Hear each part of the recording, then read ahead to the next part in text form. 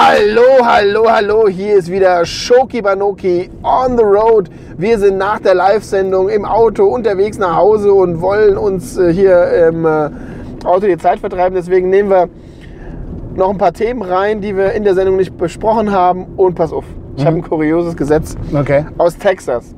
Du weißt ja, Texaner sind ja grundsätzlich.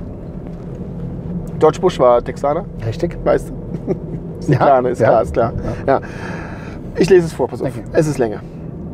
Ein kürzlich in Texas verabschiedetes Gesetz zur, Ver für, zur Verbrechensbekämpfung verlangt von jedem Kriminellen sein Opfer mindestens 24 Stunden vor der Tat entweder mündlich oder schriftlich über die Natur des geplanten Verbrechens zu unterrichten. ja, Okay. ist ja ein ritterlicher Plan, würde ich sagen. Ja, finde ich in Ordnung. Aber Hallo Sascha. Hier spricht Christian. Ich plane in circa, wie viele Stunden? 24 Stunden. In circa 23,5 Stunden. Nee, nee, mindestens 24. Also müssen, Okay. müssen mindestens sein. Länger. Okay, 23,5 wird sich strafbar Richtig, machen. will ich mich strafbar machen. Ja. Also, in 24,5 Stunden. Ja. Ja, okay, okay. So, so. Macht absolut keinen Sinn. Ja. Ich werde dir in 24,5 Stunden auf die Fresse hauen. Aber Das sowas von die Fresse polieren. Ah. Äh, ähm, bereite dich schon mal drauf vor. Genau. Und Wenn du willst, gebe ich dir das schriftlich. Per Fax. Ja. Genau. Das, Okay. woll- das wollen die in, in Texas so.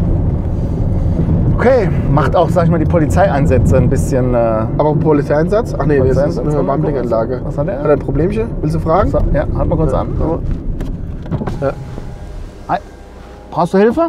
Alles, Alles okay, gut? Alles klar. Bravo. Okay. So. Ja. Da haben wir noch mal wieder den Heiligen Samariter gespielt hier. Tu Gutes und sende darüber. ja, ja, genau. Hm, wir sind so gut. War nur ein Auto im Warnblinker. Der junge Mann stand daneben, hat telefoniert. Das eine Bein hat gefehlt, ja, aber es geht ihm gut. Ja, ja, ja. Dann sagen wir Cheerio, Miss Sophie und Grüße nach Texas. Ihr seid ziemlich Banane. Tschö.